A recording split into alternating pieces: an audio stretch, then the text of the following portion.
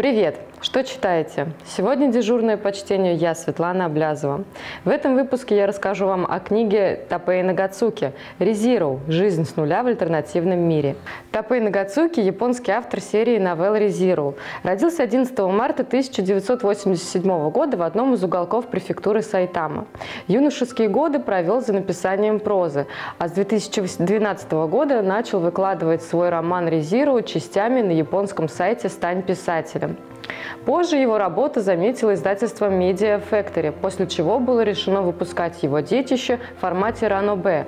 Это разновидность современной японской литературы, которая может включать в себя различные жанры от романтики до ужасов, но отличается по большей части фэнтезийным сюжетом. «Плохи мои дела», – пробормотал он в полнейшей растерянности.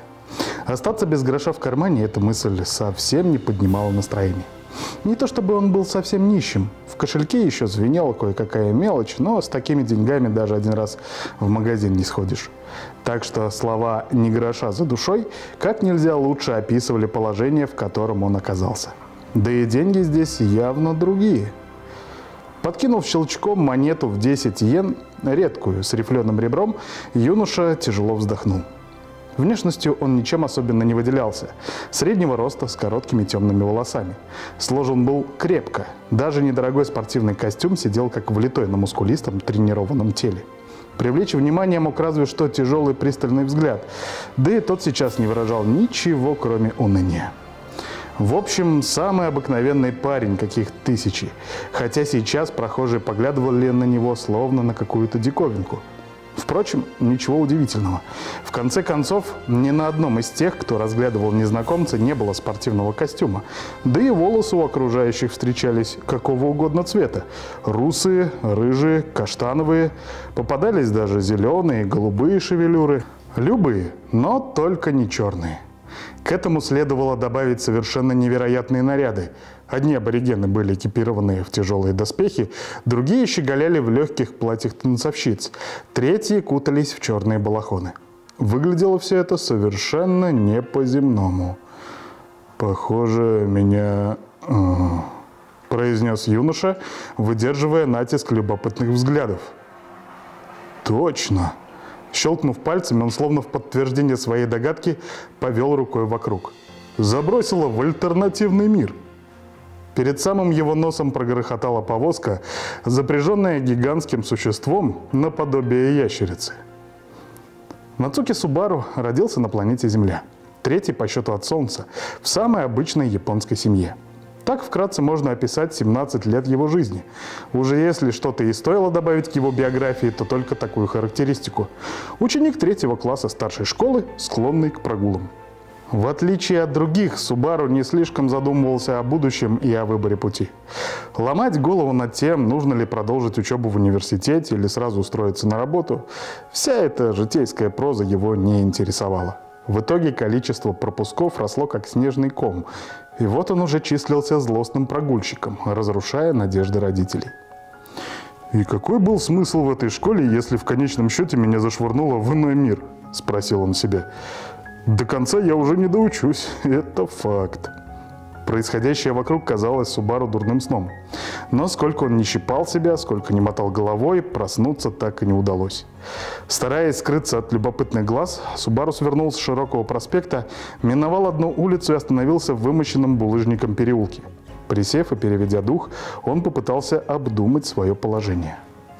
Похоже, это какой-то фантазийный параллельный мир, а цивилизация здесь на уровне средневековья. Машин, судя по всему, нет, но дороги неплохие. От моих денег, конечно, здесь никакого толку. Для начала Субару решил выяснить, получится ли общаться с местными жителями и какая валюта у них в ходу. Он живо принялся раз за расследование и вскоре установил, что местный язык, к счастью, ему понятен, а в качестве денег используются золотые, серебряные и медные монеты – Правда, торговец фруктами, выбранный Субару для первого контакта, одарил его весьма недружелюбной гримасой.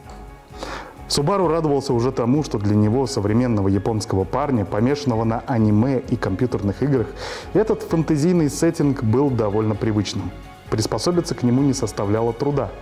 Наверняка любой подросток отдал бы все на свете, лишь бы попасть в другую реальность. Хотя Вот только снарядить меня могли бы и получше. С таким набором особо не разгуляешься. Пожаловался он, оценив свое более чем скромное имущество.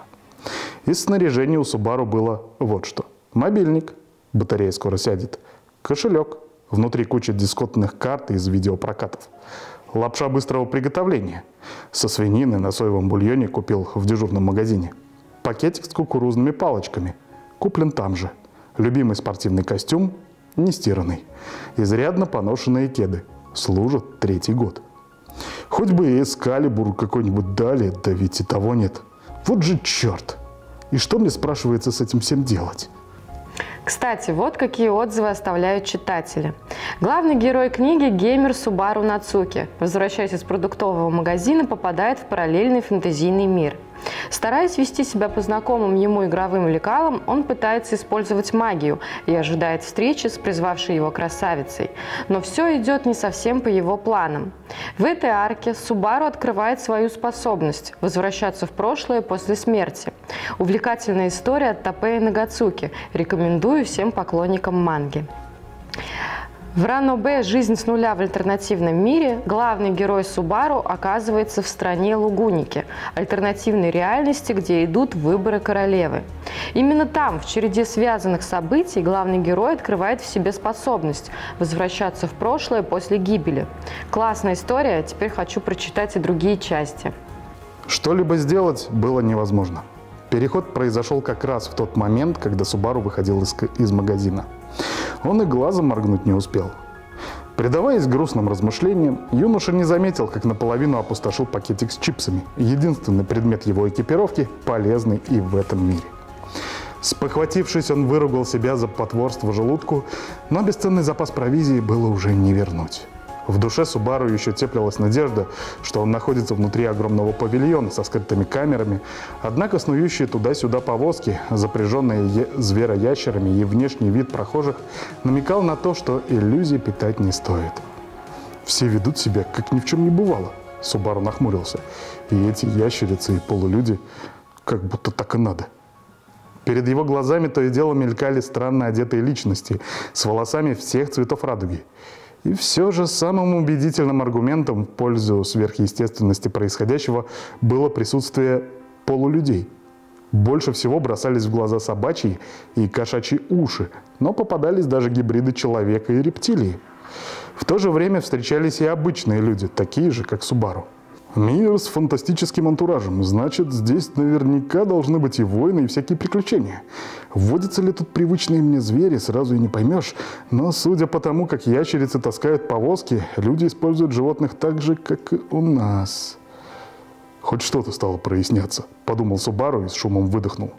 Если события будут разворачиваться по законам фэнтезийного мира, то вооруженный современными знаниями он далеко пойдет.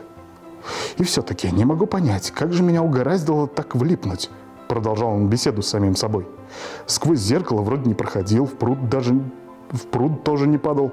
И вообще, если уж на то пошло, где же та красотка, которая по канону и должна была меня сюда призвать?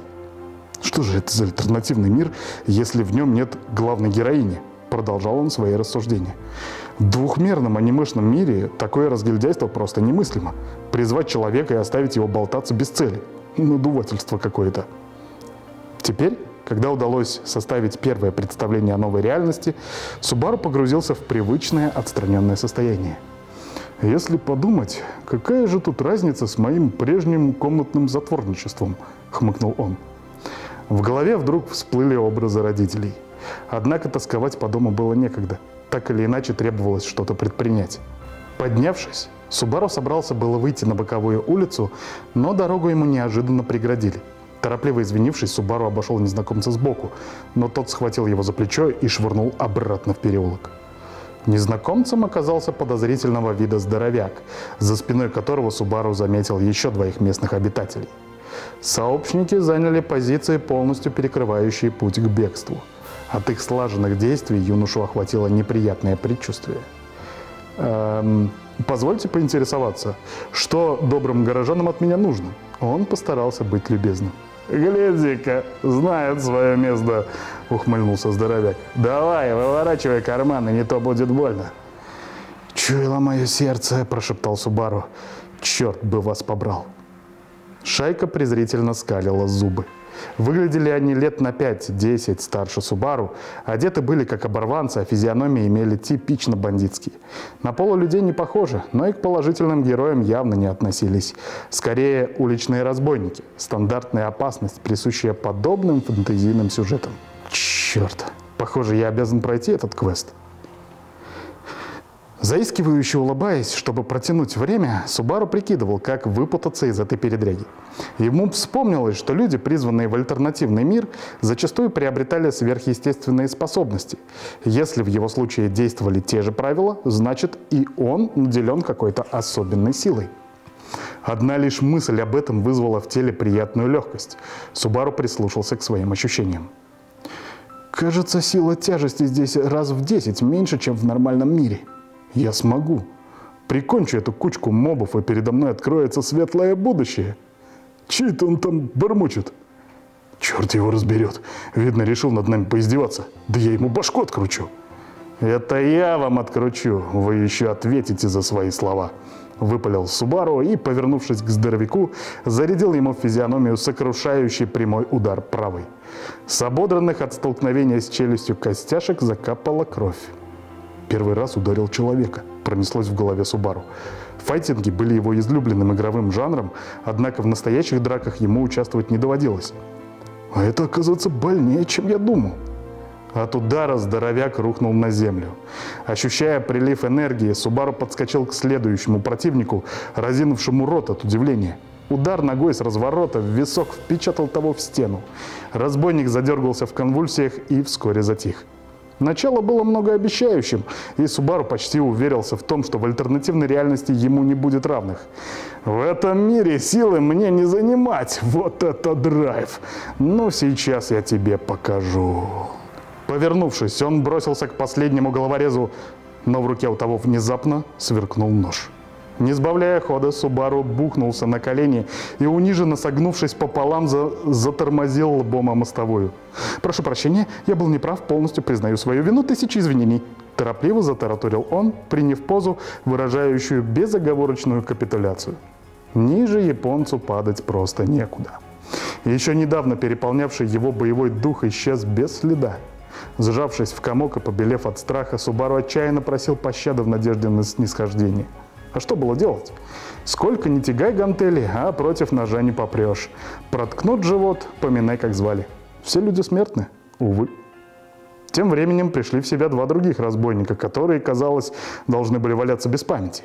Субару ошарашенно наблюдал, как они утирают разбитые носы и трясут головами. Оба снова поднялись на ноги, как ни в чем не бывало. Как же так? Это все, на что способен мой смертельный удар? А как же мои суперспособности? Суперспособности явно подкачали. Никакой особенной силы у Субару не появилось. «Что за чушь ты там опять несешь?» – послышался голос одного из головорезов. «Ну, пеняй теперь на себя». Первый том новеллы «Резиру» вышел в 2014 году. В этом же году стала выходить и первая манга-адаптация.